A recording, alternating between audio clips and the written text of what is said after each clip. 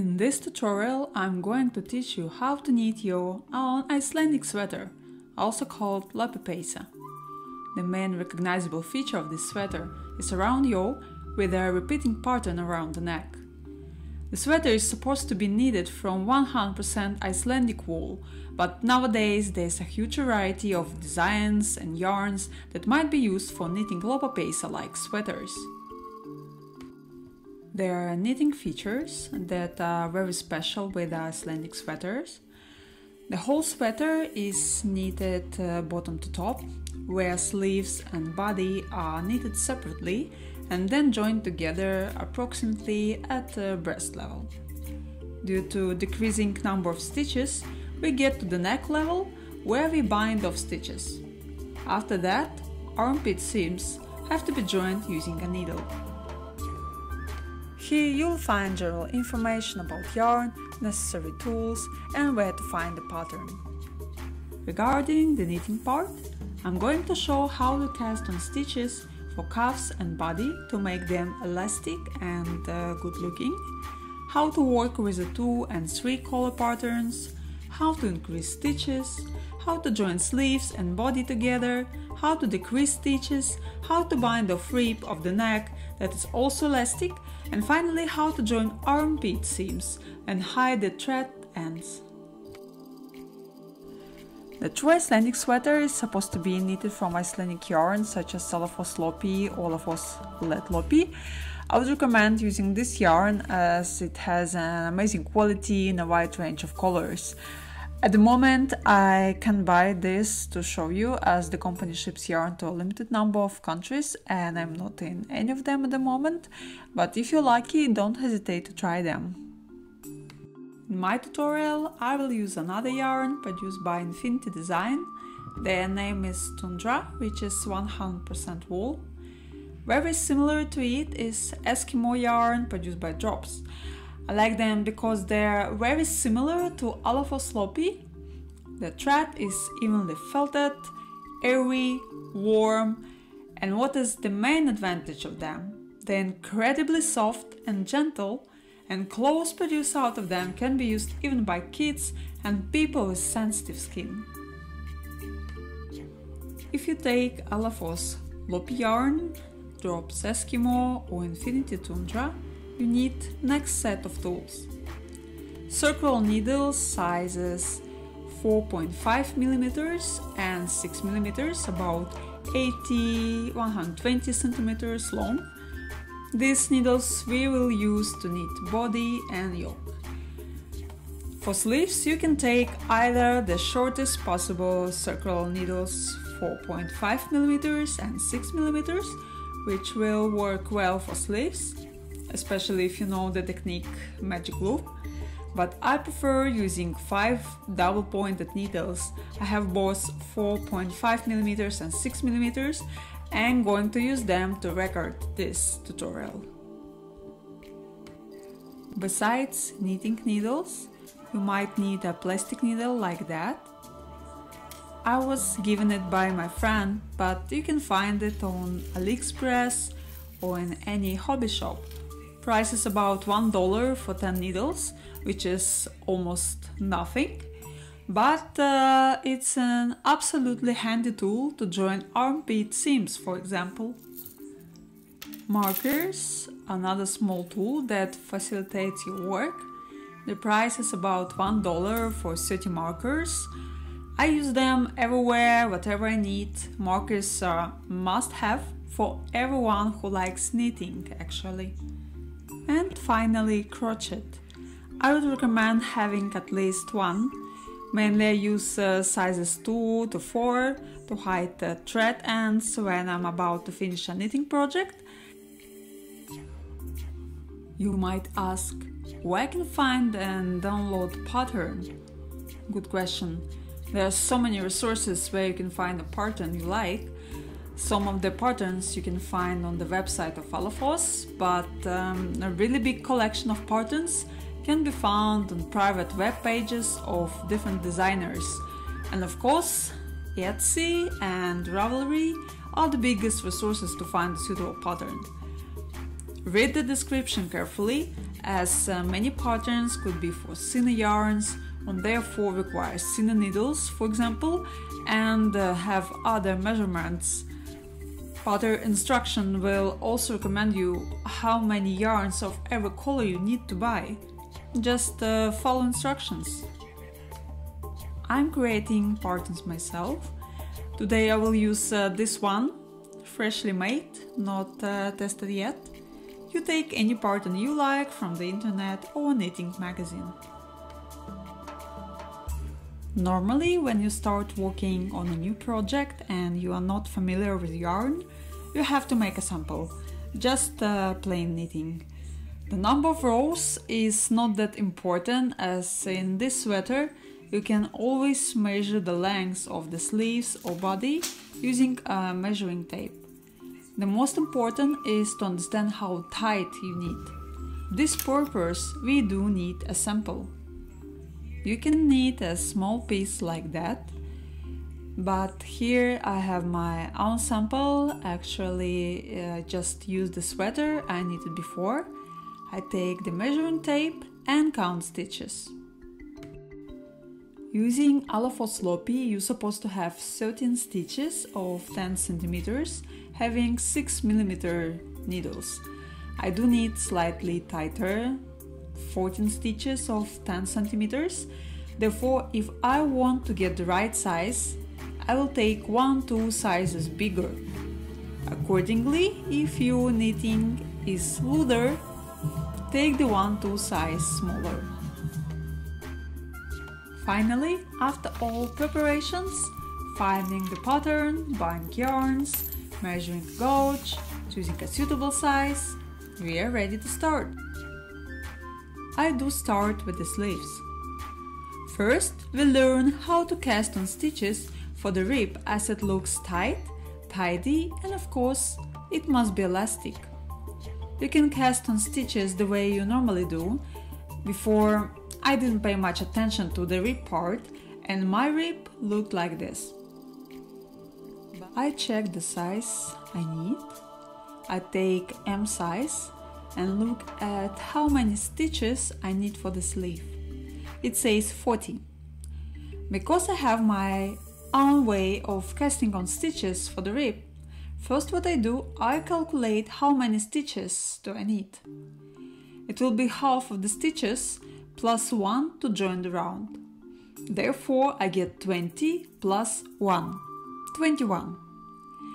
I take an additional contrast thread and cast on 21 stitches on the double pointed needle size 4.5 millimeters. We take the smaller needle to make our rib tighter than the rest of the sweater, right? It doesn't really matter how do you cast on stitches as uh, there are many methods that exist. All of them, as far as I'm concerned, will work well. Then I distribute 21 stitches on 4 needles. You don't need to do it if you use technique magic loop. And then I join the round. Look how I'm doing it. Make sure that the whole line of stitches is not twisted. I grab the first stitch from the left needle and at the same time I grab the last stitch from the right needle and one goes through another. After that, I take my working thread and knit 3 rows of purl stitches. As simple as that.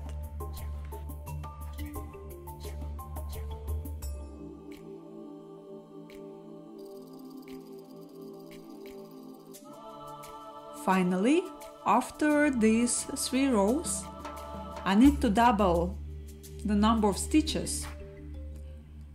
I need 40, not 20 as I have now. Let's see. The first stitch I make is a purl stitch that is already on the left needle. Now be attentive.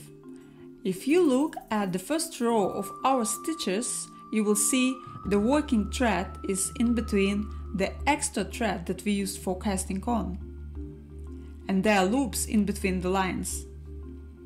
What do I do with them?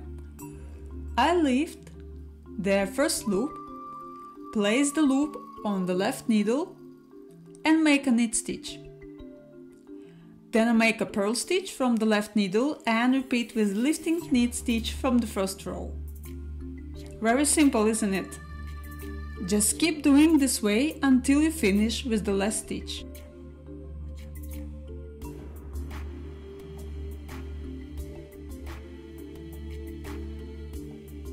All 40 stitches are on the needles. Now knit an ordinary rib, which is one purl stitch, one knit stitch, and continue this way until I get, let's say, 4-6 centimeters of the rib pattern. My rib is ready. The final step here is to cut the extra thread, pull it out, and admire the beginning of our work.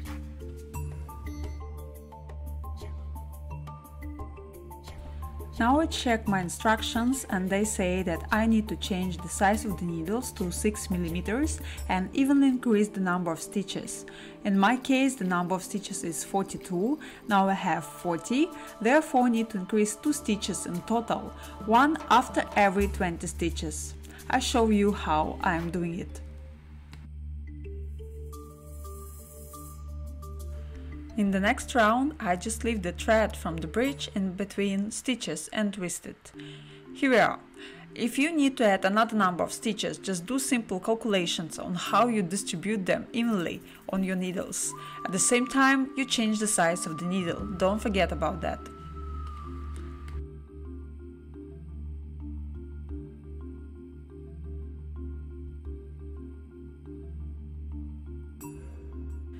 Now I have all stitches on my needles to start working with the pattern. I find a chart made for sleeves. Here it is. The pattern is repeating every 6 stitches. I take an additional color and join it to my knitting. I simply just keep the thread tight during the first stitches, tighten it up and at the very end when I will be ready with the whole sweater I will hide the ends.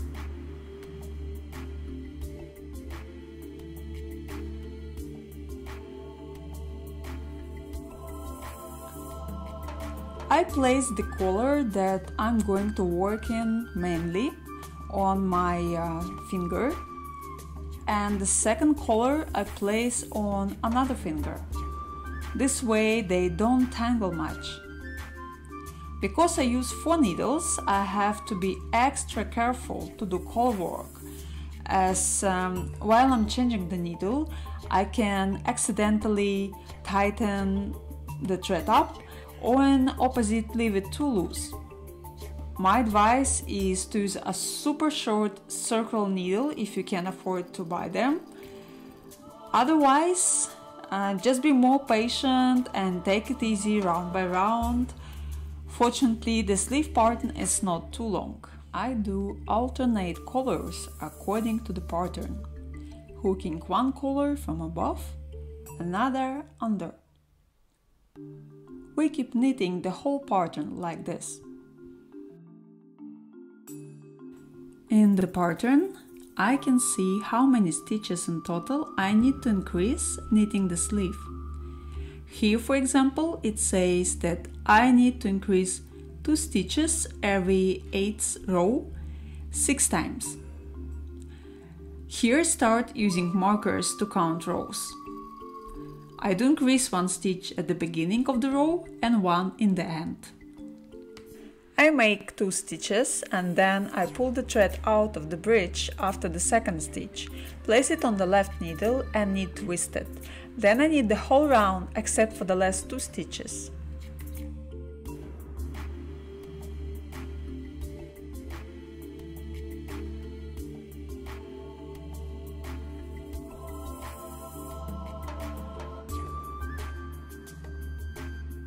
I have two stitches of the row left and again I pull out the thread, this time from the bridge two stitches before the end of the row, place it on the needle and knit it twisted. Now we have the first increased row. After that I knit the rest of the rows, I have 7 left. After 8th row, I move my marker up there to make it obvious where do I start counting again. I do the round increasing stitches and then again knit 7 rows. In my case I have to do it 6 times. Check your pattern how many times and how often you need to increase stitches.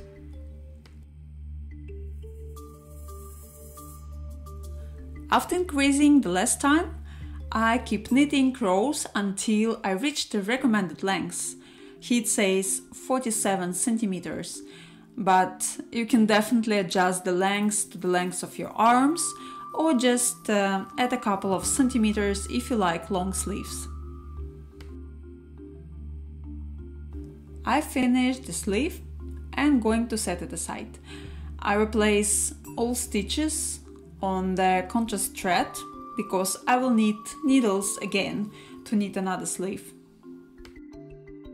I'll be ready with the second sleeve and come back to you with the next video, where I will knit the body and join it together with the both sleeves and start working on the yoke. If you find this information useful, like the video and subscribe to the channel to not miss more tutorials. See you in the next video.